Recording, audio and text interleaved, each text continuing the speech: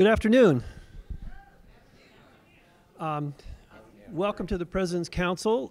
I would like to point out that this is, uh, from my point of view, this is the last President's Council meeting that I'll be presiding over. Um, we created the President's Council many years ago when the college very first started, um, and it served a number of purposes during the year. It was, in fact, a sort of farm team for the Board of Trustees for quite a while, um, and it's provided a great deal of advice and counsel as we go. So it will be transitioning to a new leader. We'll have a meeting in the spring, but I think the, the team is planning to use that for something else. So this will be the last sort of regular um, President's Council meeting, and there, therefore its content is a little different than usual. Uh, you've seen the agenda. I think by now we'll have three sessions, um, sort of past, um, present, and future, and um, we'll get into that in a minute. What I'd like to do now is to um, invite Ken Stokes to make a few remarks of welcome. Thank you, Rick.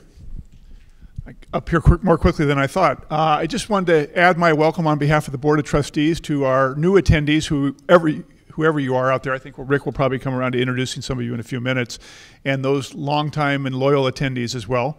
Uh, from my perspective, well, let me start by saying these are interesting times at Olin. Uh, We've had, we're in the midst of a presidential search to replace Rick, find his successor.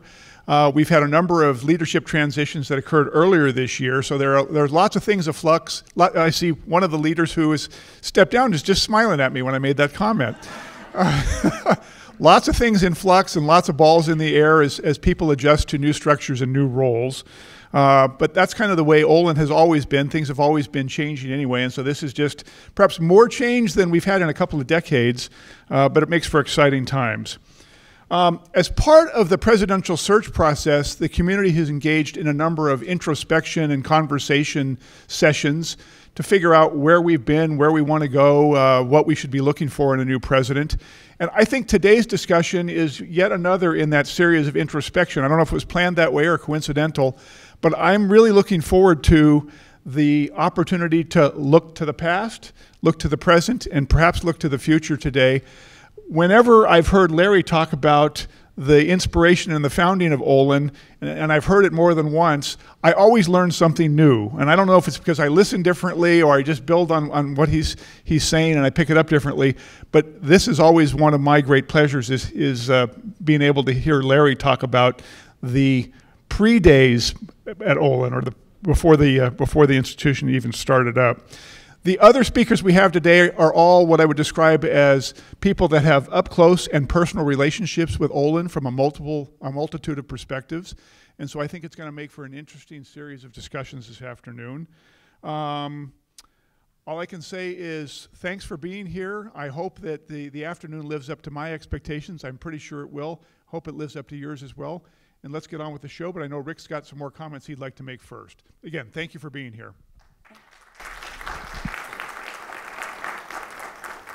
Thank you, Ken. Um, I want to begin with a moment of silence for one of the first members of the President's Council. It's Professor Woody Flowers from MIT, who was uh, an amazing uh, member of our community. So let's just reflect for a few seconds about Woody.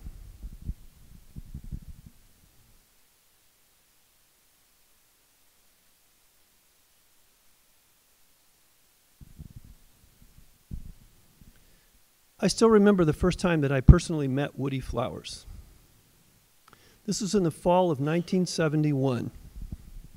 I arrived at MIT as a first year master's student in mechanical engineering Woody was an instructor at that point, finishing his PhD thesis, which would happen a couple of years later. Um, we were in the same lab, so I could see what he was doing with robotics at that time.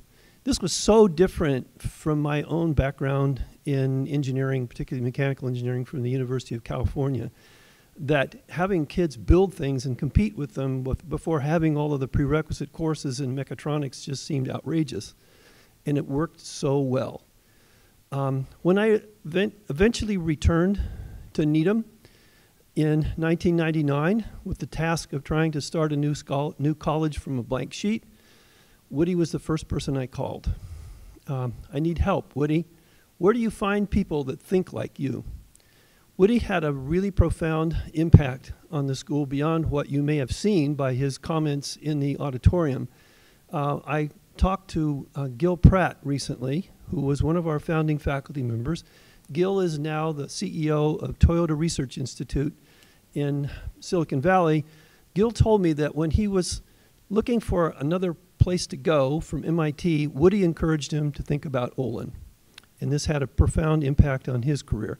And I know there are many people at Olin who have the same sort of experience with Woody. So this is a profound loss. With all else that's going on at Olin, I can tell you that I'm personally struggling um, with the emotional dimension of this, and I'm just compartmentalizing it like so many other people are until we have time. We miss Woody.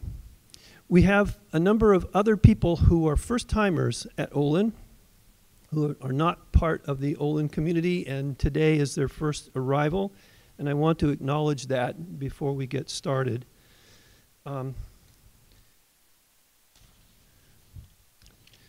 one of them is John Werner. John, are you here? Well, he's planned to be here, so I'll tell you a little bit about John Werner, just a very little. He is currently um, at the Media Lab at MIT as a VP for Strategic Partnerships. Um, John is also uh, Boston Innovations 50 on Fire Award in 2014. He's, he's an incredibly powerful networker and advocate for technology and education in, in the area. So when he comes, we'll be glad to welcome him. In addition to that, I believe we have Greg Stucklosa here. Yes, Greg, welcome.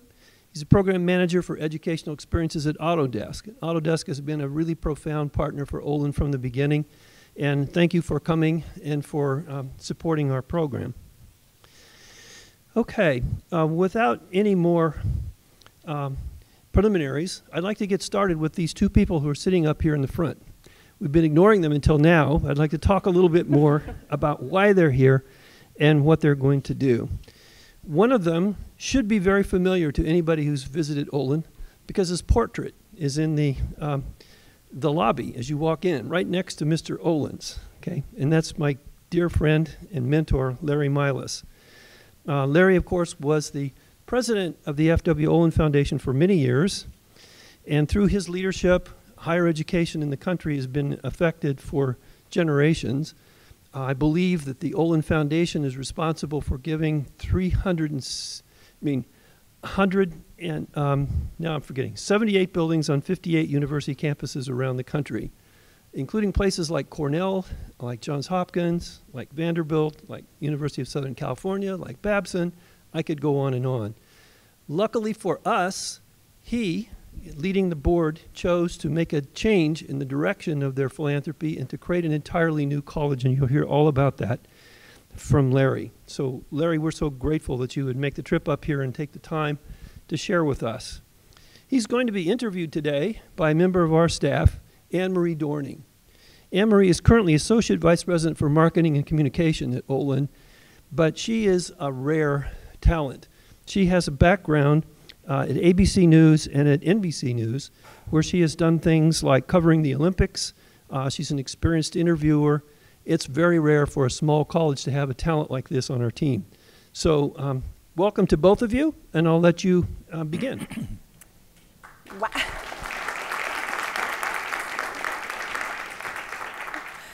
Well, that was quite an introduction, so thank you for that, and thank you for your personal reflections on Woody Flowers, who I know um, many of you knew uh, personally. Um, and, and Ken, you, you, you talked a little bit about how this is a year of transition for Olin. And we, in thinking about the President's Council, we thought who better to reflect on the past 20 years of Olin than, than the person who, more than really anybody, is responsible for, for Olin coming into being. So that's where I want to start, um, going back to the beginning with our conversation.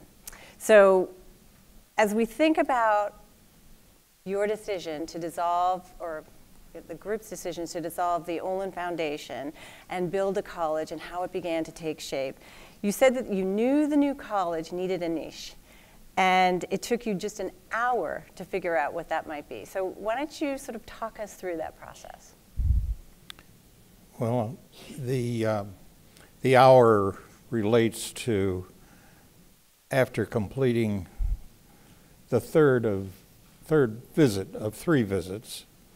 Um, it was uh, obviously an undertaking like uh, uh, dissolving the foundation and putting all the money into a new college is uh, something that demands some planning. So uh, the first stop I made in trying to plan was to visit Hank Riggs at Harvey Mudd College.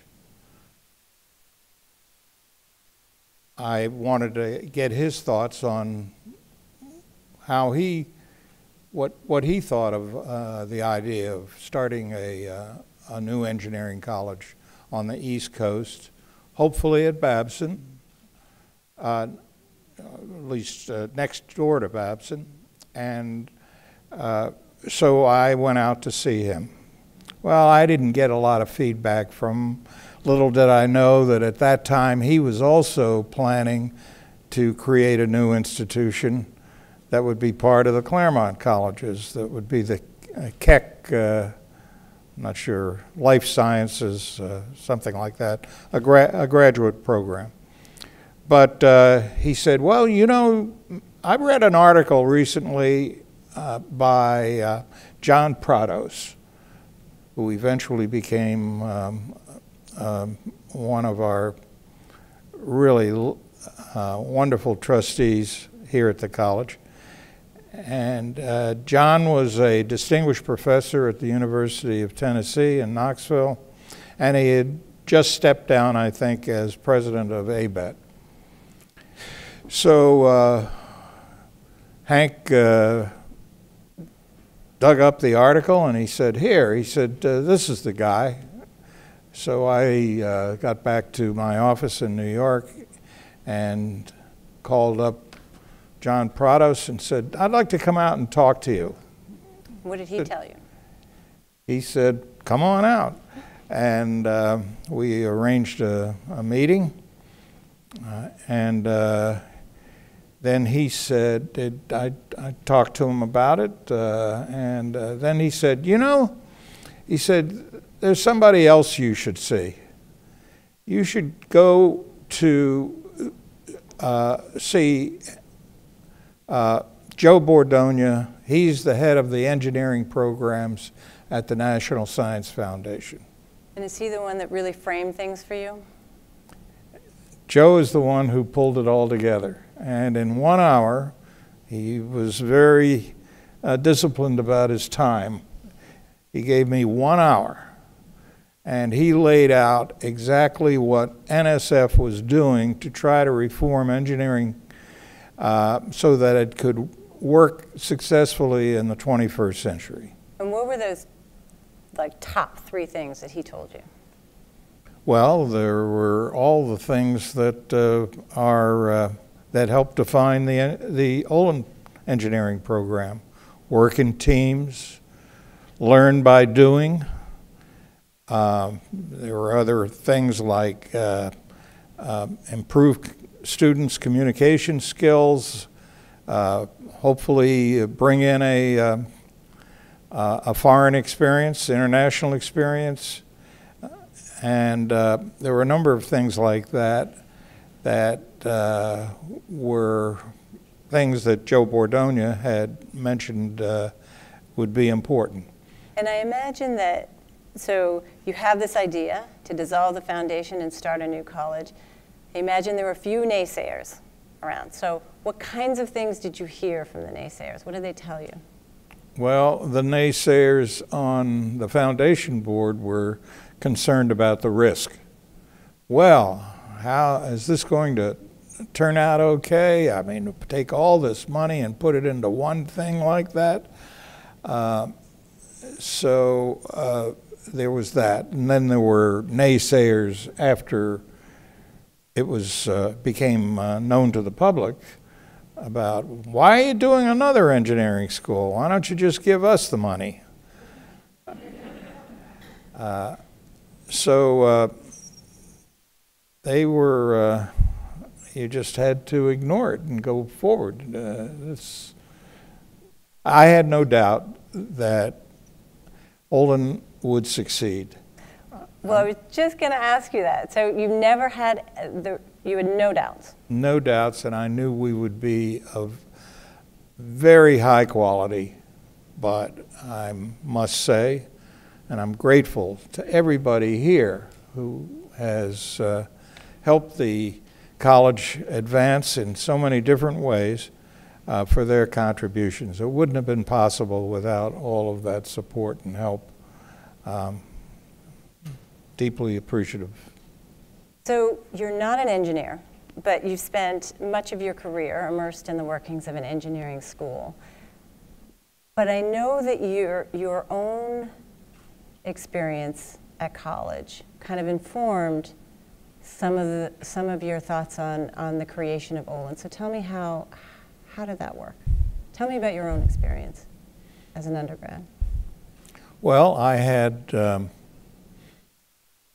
I had some difficulties in uh, um, paying for uh, my college education, and so I went into the military to get the GI Bill. That was my solution. That was my way of uh, paying for college. And uh, in fact, you might say Olin College is the product of the GI Bill. Uh,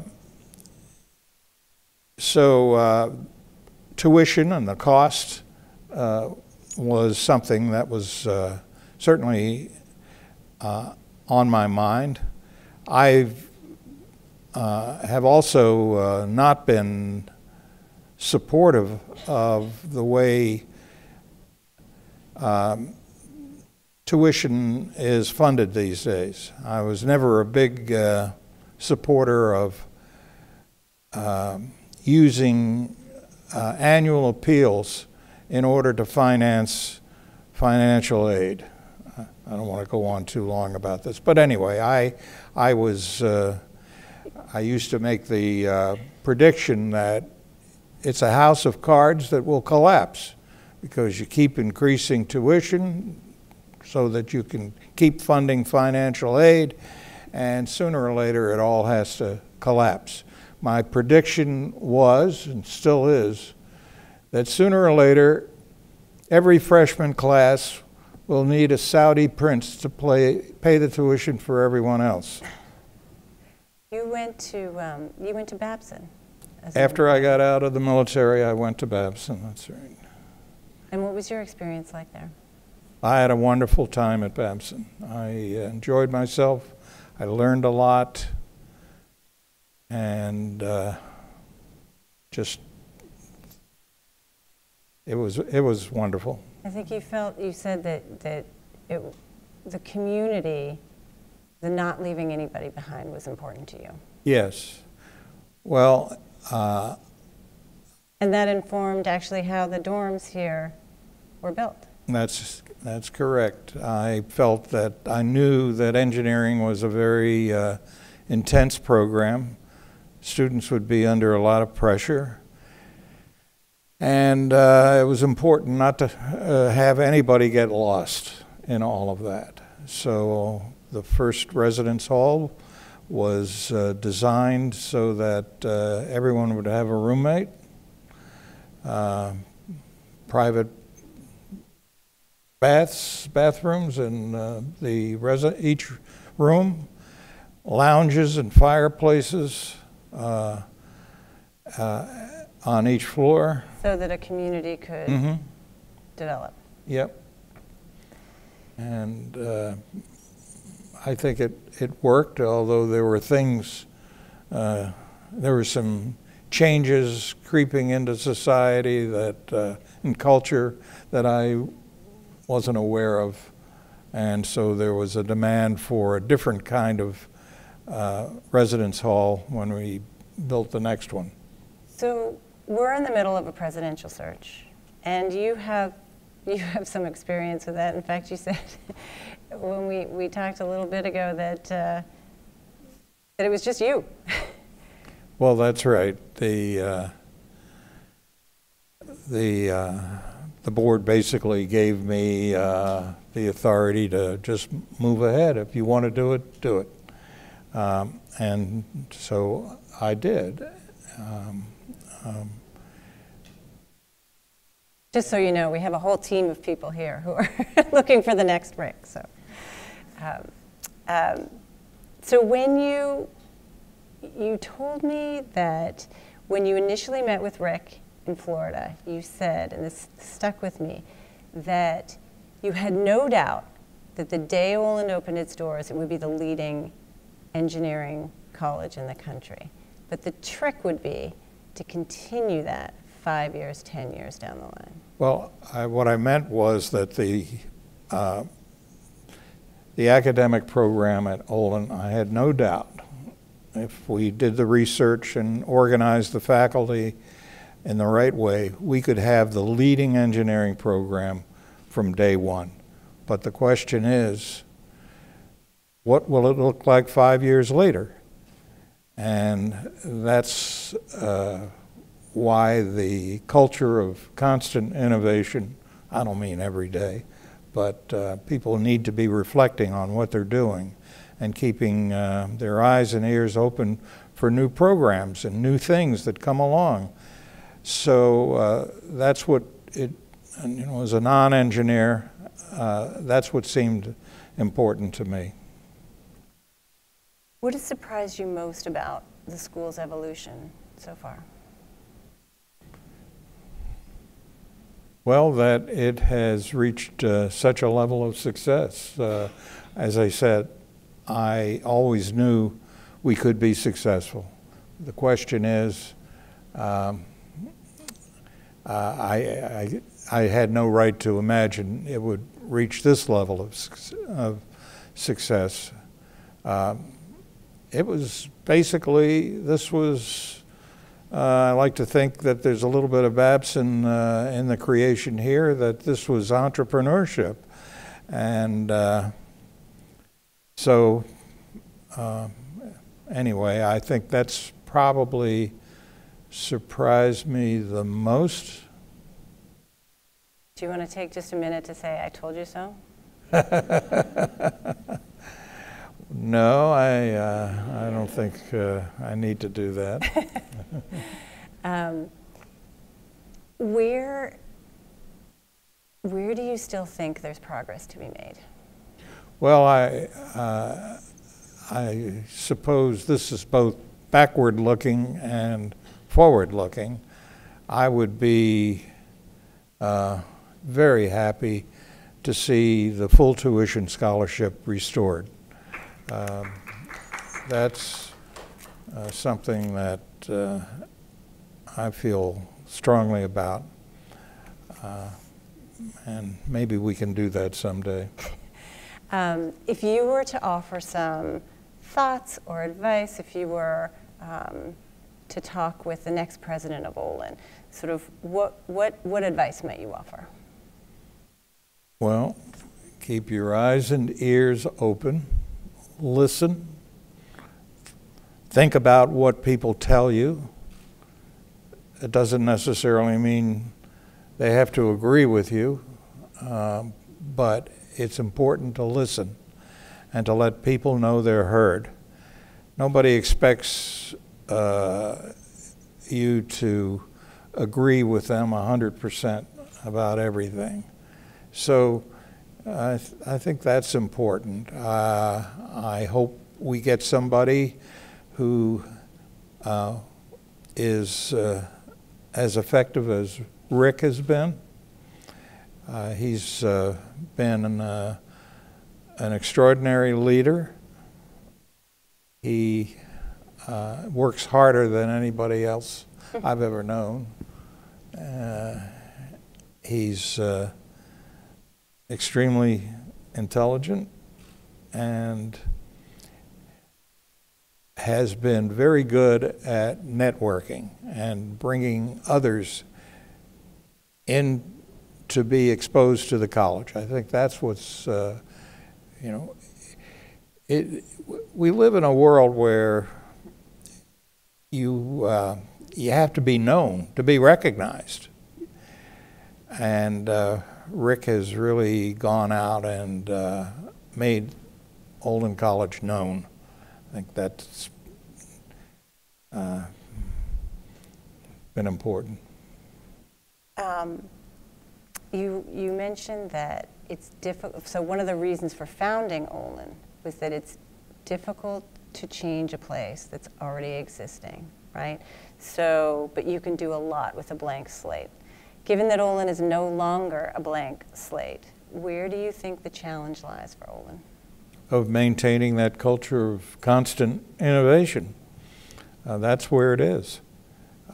Uh, the uh, the problem at so many uh, one of the reasons NSF didn't get a lot of return on taxpayer money that it was spreading out to try to reform engineering education is because everybody had turf and uh, existing institutions were happy to take the money do a study it would go into a volume on the shelf, and that was the end of it. Uh, this was a place where all of that became action. So, what is the key? So, what's the difference here? What have you seen? Changing the curriculum? Well, it's a combination of a lot of things, uh, but uh, curriculum is extremely important. Having the right kind of faculty, which we've been blessed to have. Uh, faculty's been terrific.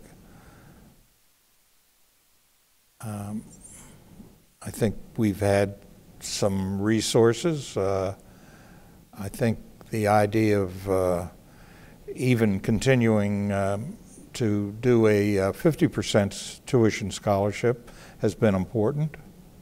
It gets people's attention and uh,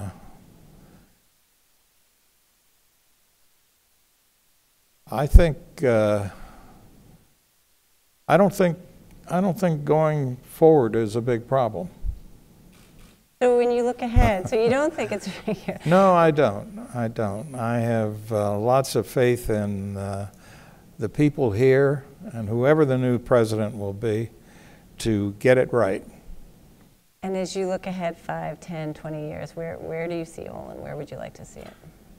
Well, I would very much like it to uh, be regarded as uh, a leading edge, the leading edge small engineering college. I mean, there are lots of opportunities to go in some other directions. We could offer other degrees, for example, and uh, expand our population. We could take on some, uh, do some, uh, we are authorized, I believe, to do a, a graduate program, which we haven't done. So there, there are opportunities for some new things.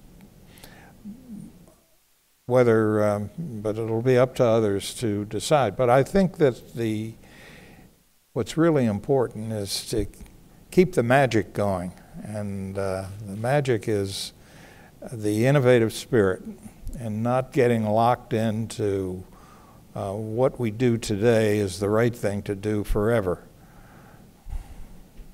I know you said you had this certainty that, that, it, that it was going to be great, that it was going to take off, and that it was going to do well. But um, when did you know for sure?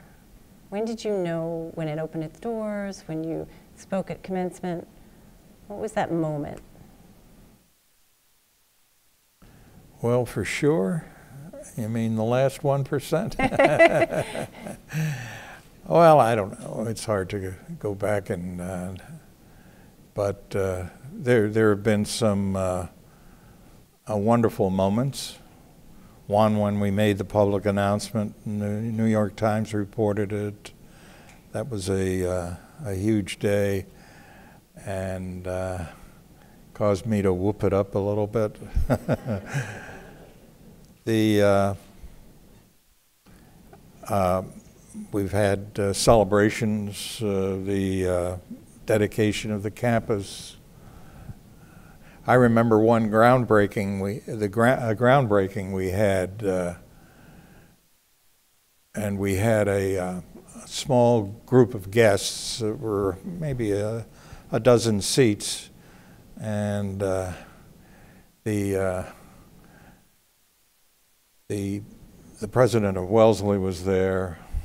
I don't know if you remember this, Rick, uh, but I, I made some remarks, and this part of the this was had been part of the Babson campus, which we bought from Babson to build this campus. And uh, this particular part where the groundbreaking uh, was held was something that, when I was a student at Babson, was called the Bird Sanctuary. Now, nobody visited the bird sanctuary during the day. It was always at night. and uh, it was considered hallowed ground. I wasn't sure if we were going to get any pushback from uh, Babson students. You, you actually said that that, um, that the community, so I think you were talking about Claremont College in the beginning, and that you wanted to foster that sense of community between multiple colleges so that that would also contribute to the to the spirit of innovation. Do you see that here now in the yes, absolutely. I think that's really an important aspect of of the uh, the original planning uh, the foundation had funded a new academic building at Harvey Mudd College. That's how I got to know Hank Riggs. And uh, I was quite taken with the whole arrangement of the Claremont colleges. Uh, without going into a lot of detail, there are about five different institutions, maybe six today. Uh, that uh, you walk across the street and you're on a different campus. Each college has its own focus, and uh, they share a common library. Uh, so you, even though you have the intimacy of your own small college, you have a much broader community. The opportunities that come from having uh, taking a course at a different college, a more uh, expanded faculty, uh, opportunities uh, to meet other students from other colleges. I thought it was terrific, and uh, except for the five colleges in Northampton, that's not much, and, and I haven't heard a lot about them lately in their cooperation. I thought that this being next to Babson, because engineering and business are really basically on the same spectrum. They're just different ends of it.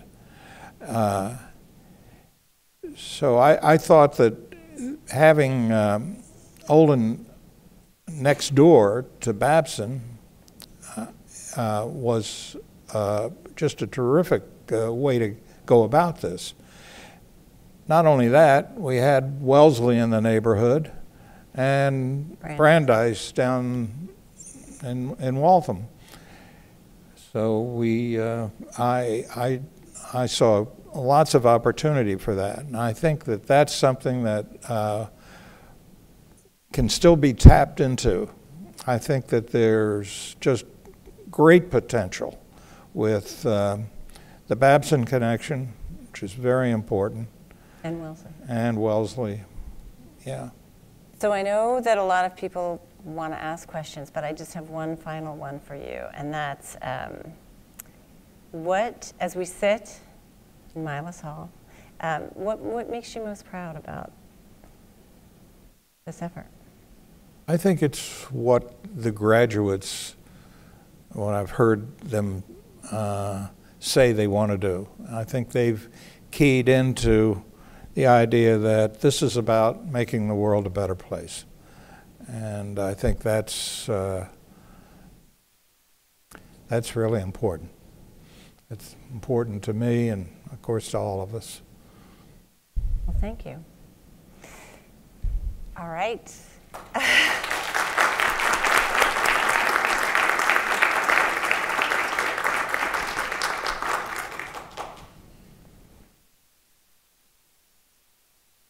oh. yep. So I'm going to tell all of you the rest of the story. uh, I'm Ralph Sorenson. I was president of Babson from 1974 to 82 uh, at a time uh, when uh, Babson had uh, been counting on Roger Babson when he died to endow the place forevermore. Uh, Babson had never had a capital campaign. Babson didn't take any money from the government.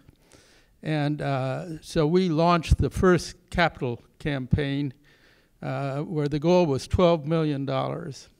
And uh, we were looking every place for help. And we heard about this F.W. Olin Foundation, which was building engineering buildings mainly around the country.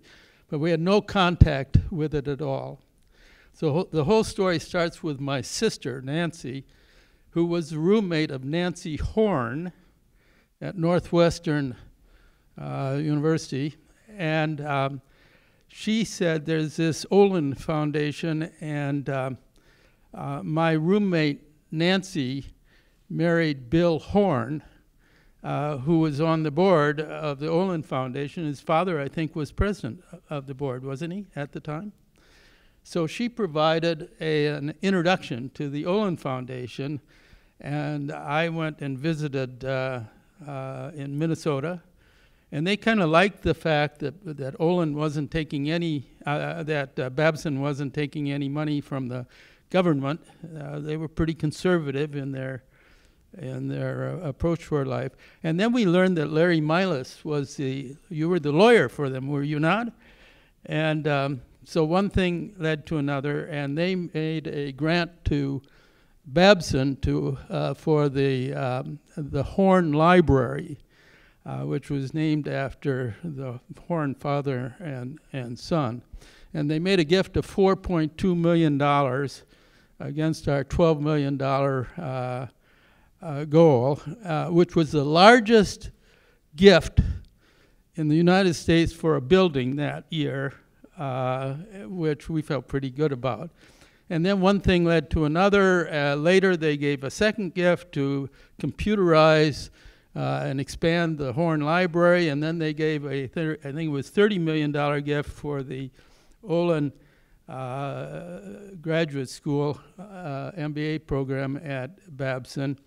And then, uh, due the to the genius of, uh, of Larry and of your president here, um, out of that came this decision to uh, to uh, take the endowment. I think it was what 600 million or something at the time, and to devote it all to creating this school, and um, and the rest is is is history. But I think Olin has been especially lucky to have uh, Rick as a guiding spirit and, and uh, building all of the concepts into to Olin.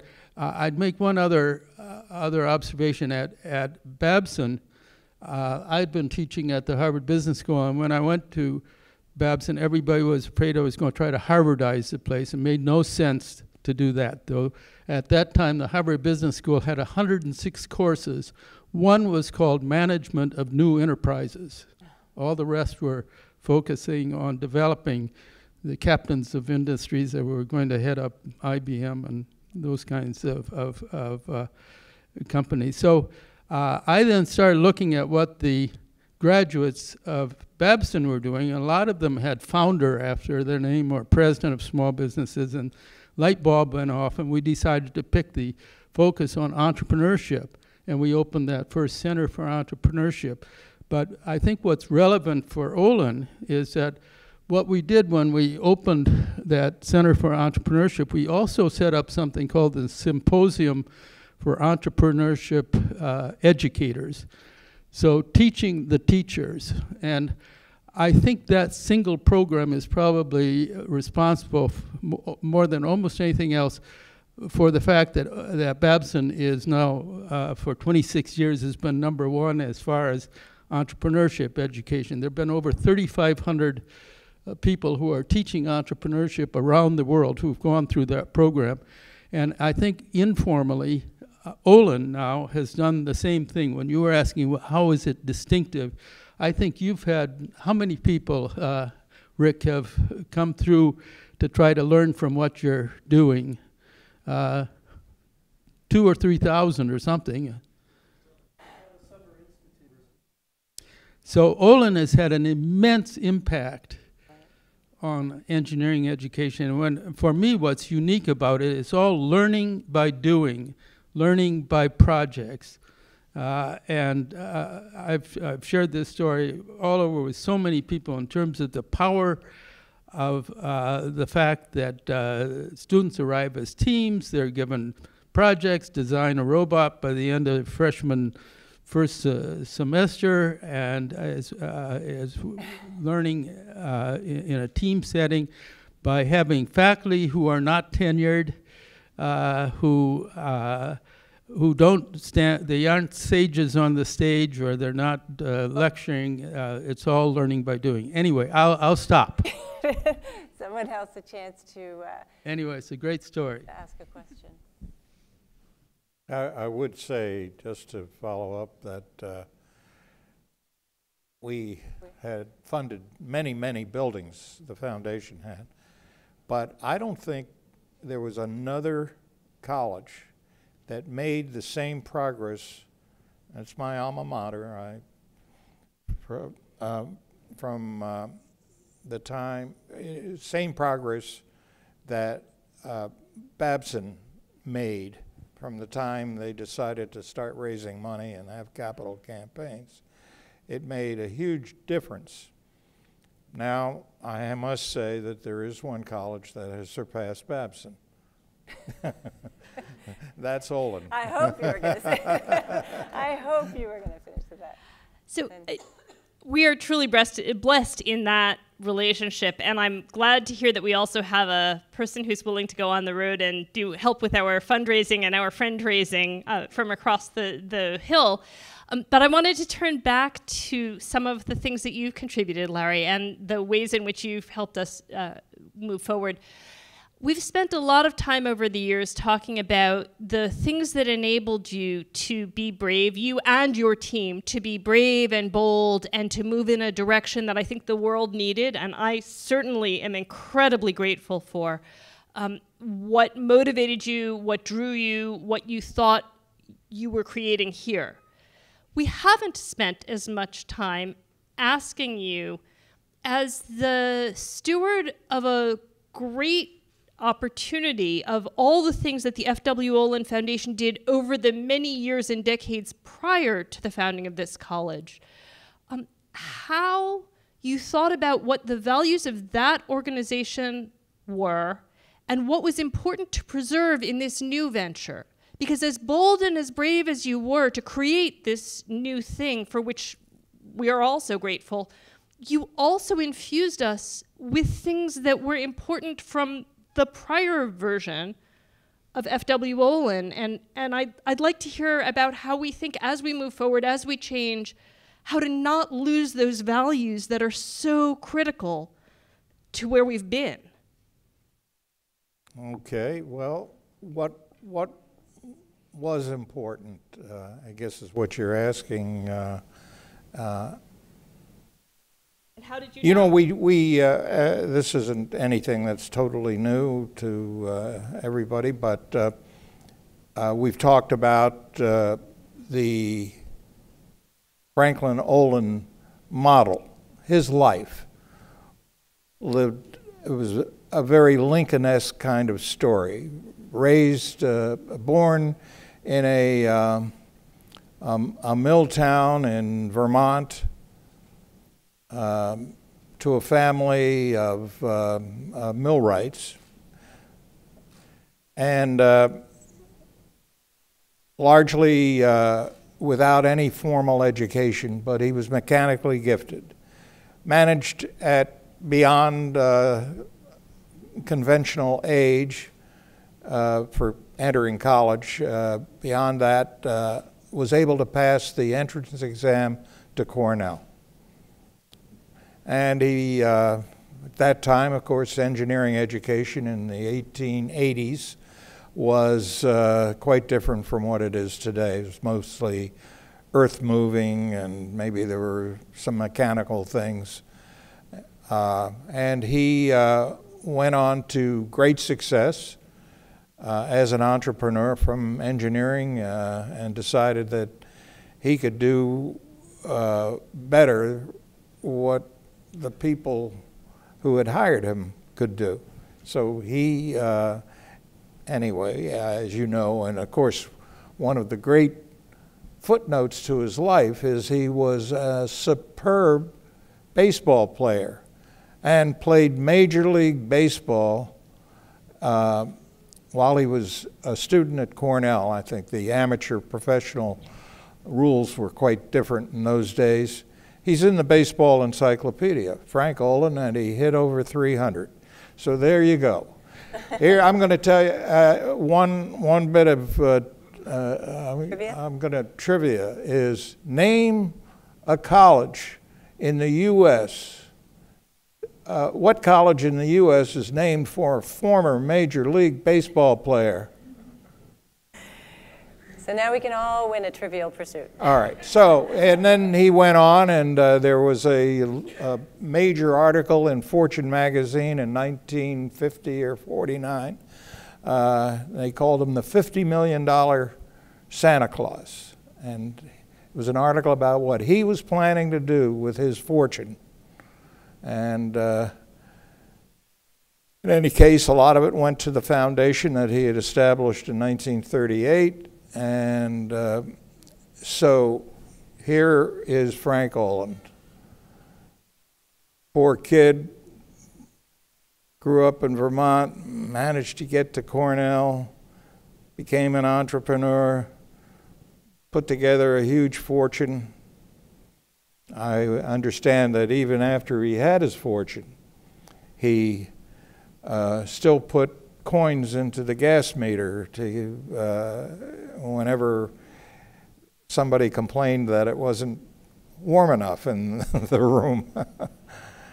uh, and uh, he, um, so there, there he is, entre- engineer, entrepreneur, Baseball. philanthropist.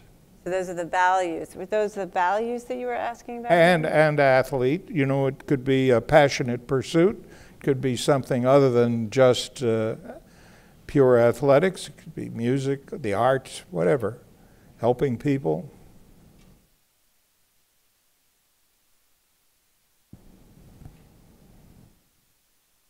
Rick has a question, and Vin has a question.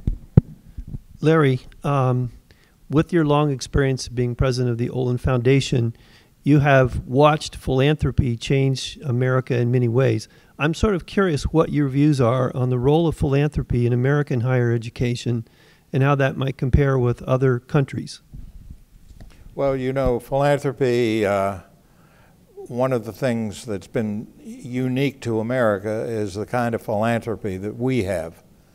Uh, government gives tax exemption even for contributions to all sorts of religions uh, and beliefs.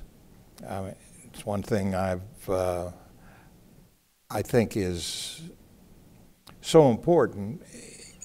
Uh, you know, uh, de Tocqueville commented about philanthropy in the U.S.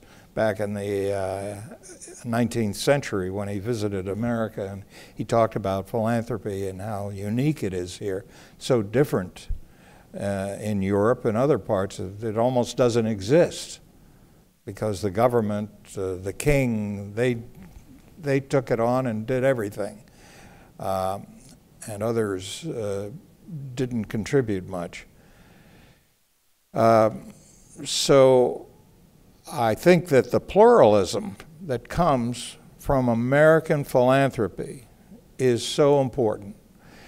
Otherwise, if the government did everything, it would all be politically motivated. How can I get the most votes uh, by uh, if, if, I have this money to give away? And uh, as long as we preserve the uh, opportunity uh, to give money privately get a tax deduction. Uh, i- It's uh, a tremendous leveler, I think, uh, but not everybody I know will agree with that. That That's sense. okay. I think we have another question. Larry, you've talked a lot about the number of academic people who helped influences influence Olin's beginning. Um, I was wondering at the time that you were putting your thoughts together, who are the non-academics that the Who are the non non-academics, the non-professors, the non-deans, not the folks from Harvey Mudd or NSF, um, who in, who helped influence your thinking?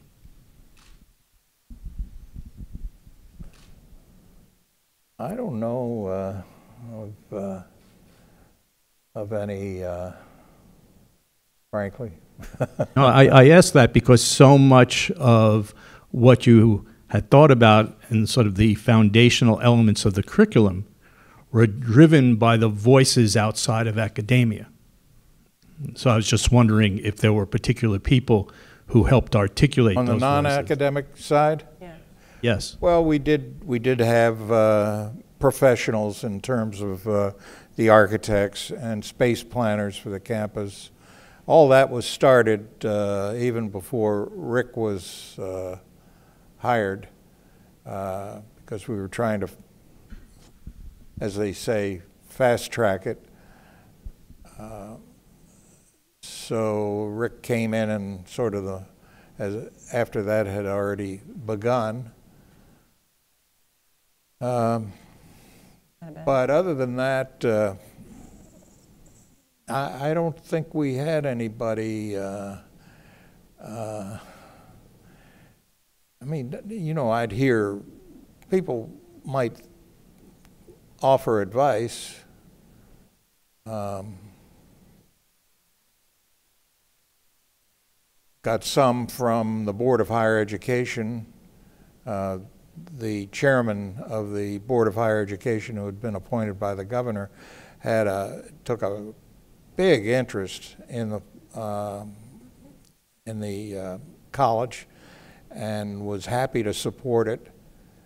Uh, So he offered uh, some advice, but that mostly had to do with uh, some, Process. Process and getting things through. yeah. Thank you.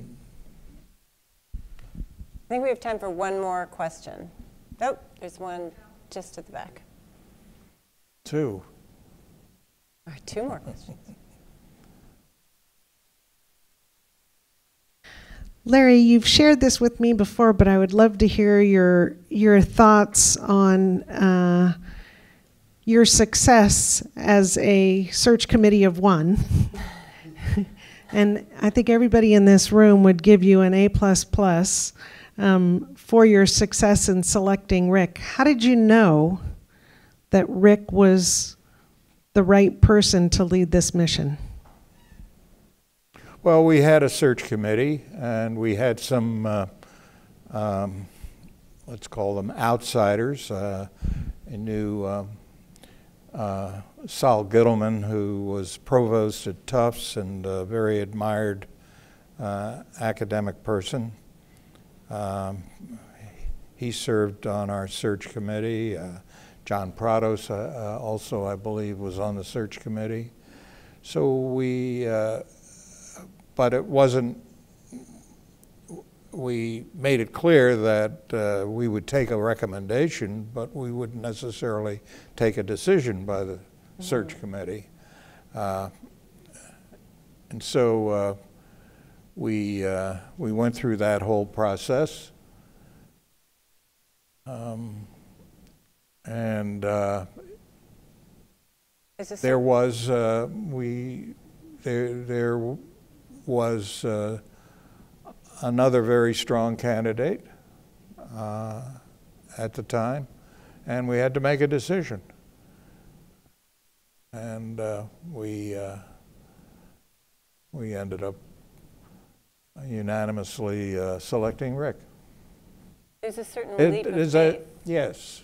Aspect. Uh, And I may have mentioned this to you, Bev, is that there's always, uh, you, you know, whether it, no matter who you're hiring, uh, there's always a leap of faith. You can see it on the paper. You can talk to uh, the the person and uh, get references and all of that, but you don't really know until that person arrives and gets to work uh, how it's going to go.